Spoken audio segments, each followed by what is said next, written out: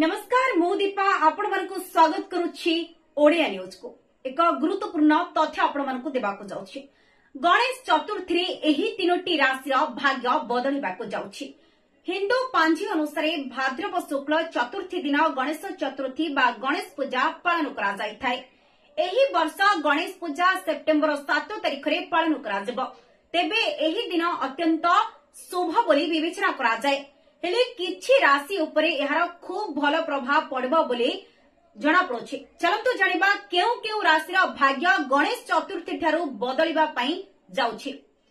ବୃଷ ରାଶି। ଏହି ରାଶିର ବ୍ୟକ୍ତିଙ୍କ ଜୀବନରେ ଅନେକ ପରିବର୍ତ୍ତନ ଦେଖିବା ପାଇଁ ମିଳିବ।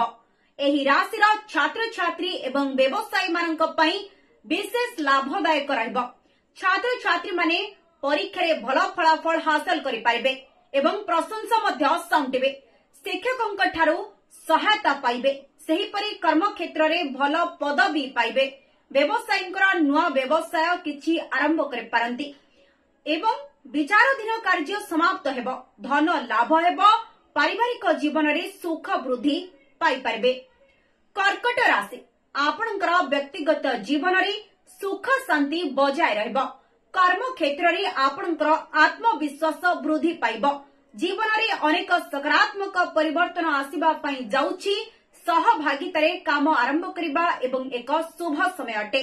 ଆୟ ବୃଦ୍ଧି ହେବା ସମୟରେ ଦାମ୍ପତ୍ୟ ଜୀବନରେ ସାଥୀଙ୍କ ସହଯୋଗ ମିଳିବ। ଅନେକ ଦିନରୁ ଲାଗି ରହିଥିବା କାର୍ଯ୍ୟ ପୂରଣ ହୋଇଯିବ। କନ୍ୟା ରାଶି। ଭଗବାନ ଗଣେଶଙ୍କର କନ୍ୟା ରାଶିର ଲୋକମାନଙ୍କ ଉପରେ ବିଶେଷ ଆଶୀର୍ବାଦ ରହିଥାଏ।